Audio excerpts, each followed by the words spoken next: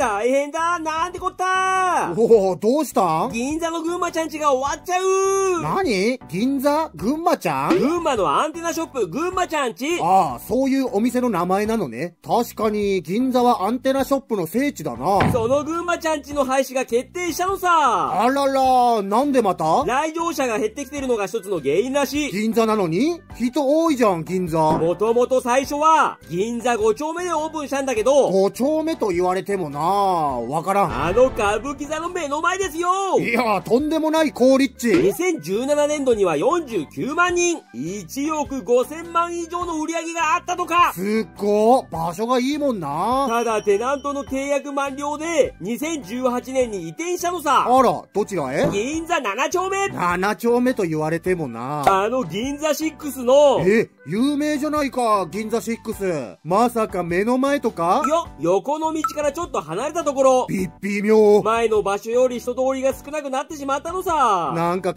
悲しいなご時世的なものがあるとはいえ、来場者も売り上げも減って、廃止が決まったわけか。寂しくなるね。栃木のアンテナショップも、やっぱり銀座にある感じ？いいえ、ないですよ。そっかじゃあ、これからはアンテナショップない仲間ですな銀座にないけどスカイツリーの中にあるい。や、それはそれですごいな